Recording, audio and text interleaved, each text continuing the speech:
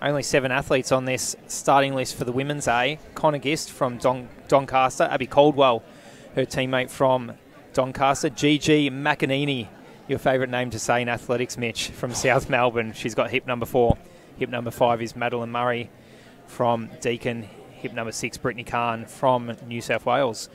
Hip number seven, Claudia Carter from Glen Huntly. And hip number eight, Anna Caspers from Essendon.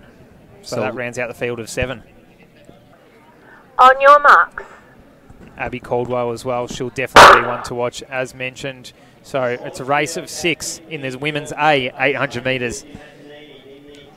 And they're going to find their way through, and I believe it is going to be Brittany Kaan maybe or Gigi Maccagnini who's going to lead them out. Abbey Caldwell also making her presence felt on the inside of the track. So I might have called all these names too early. I think Abbey. if you if you have a few predictions, you call three or four tips, then yeah, you're probably going to get someone. I think it's Connor Gist. It is. Gist. It'll be interesting to see how Abbey Caldwell races this. An accomplished athlete, but probably more um, more accomplished at the 1500 metres, uh, 3000 metres. So see how her strength carries her through. And Brittany Kaan, been a, been around for a number of years, seasoned racer, and um, yeah, with international experience as well. So just see, I guess it will prove how much uh, her training's been going over the past few months, and seeing how she performs tonight. Yeah, and they're just nicely bunched, but now they're starting to make a few moves. So now coming down to the bell, we're going to see who works it out, but I believe it is Anna Caspis.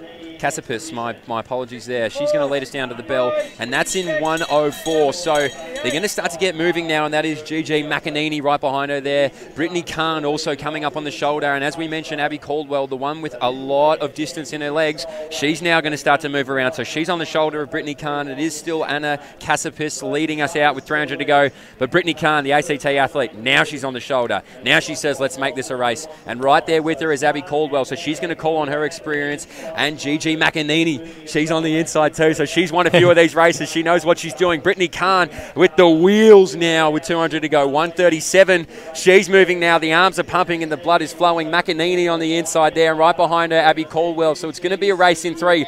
Can't get a call on the experience. Maccagnini on the race winning performances at Vic Milers Club, and Caldwell on her own experience. So now they start to move on the inside.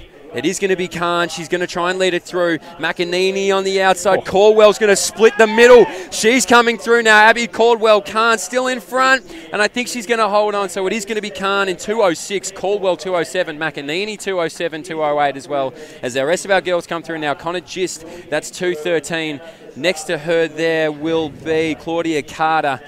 And rounding it out, Anna Cassipus, who did a lot of the early work. So phenomenal racing. 206 is moving, and that's a negative split. Well, we, that was a race.